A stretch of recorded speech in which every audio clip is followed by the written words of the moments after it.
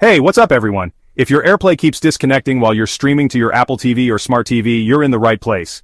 Today, I'll walk you through three proven fixes to solve this issue for good. Alright, let's dive in with solution 1. Changing your Apple TV AirPlay settings. This is a quick fix you can do right on your Apple TV.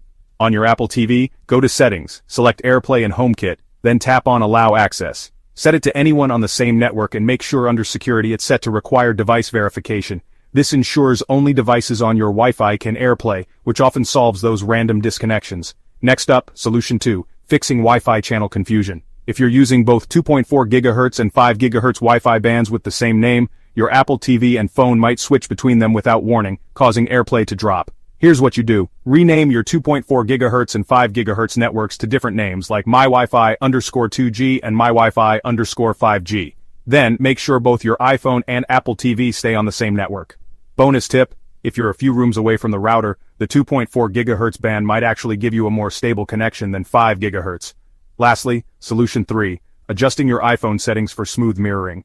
Open settings on your iPhone, tap Wi-Fi, hit the eye icon next to your connected network, then scroll down and turn off low data mode. This can sometimes limit performance and interrupt screen mirroring. Next, go back to settings, tap display and brightness, scroll down to auto lock, and set it to never. Why? Because if your phone goes to sleep during AirPlay, the connection will drop instantly.